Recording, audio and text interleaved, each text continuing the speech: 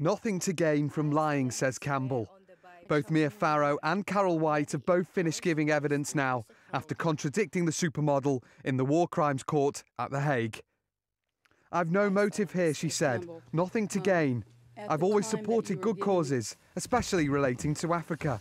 But her former agent, Carole White, said Campbell knew that Charles Taylor, the man on trial accused of war crimes, was behind the diamonds.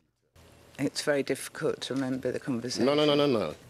Did you hear Mr. Taylor say that? Yes or no, please?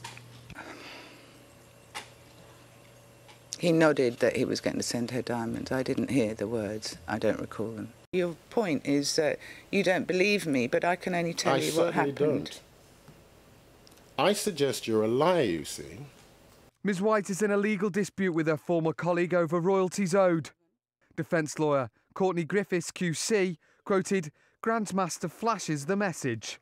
Quite frankly, Miss White, I suggest that your account is a complete pack of lies, and you've made it up in order to assist in your lawsuit against Miss Campbell. Put bluntly, for you, this is all about money. There ain't nothing funny.